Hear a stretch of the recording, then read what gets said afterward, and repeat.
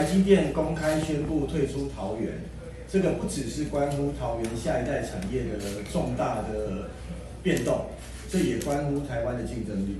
那这也关乎到世界对台湾的重视。台积电在原本在桃园龙潭科学园区设厂的是一点四纳米的一个最先进制程，现在化成泡影。我认为这是整个国民党啊都在执行掏空国防、赶走神山的这样的一个计划。我在去年哦选举的时候，我跟郑文灿花了很大的力气，那个时候我们就用执行力希望引进台积电。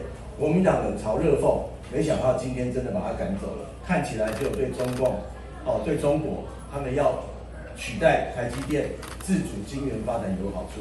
这个就是马英九他们所执行的，哦，他们所执行的中国国民党的大战略。那我们也希望说，尽快找到解决方案，让台积电的新先进制程可以在台湾落脚，不要到其他国家去。如果到其他国家去，国民党又换一套说法，说啊，你看。美国正在掏空掏空台积电，掏空台湾。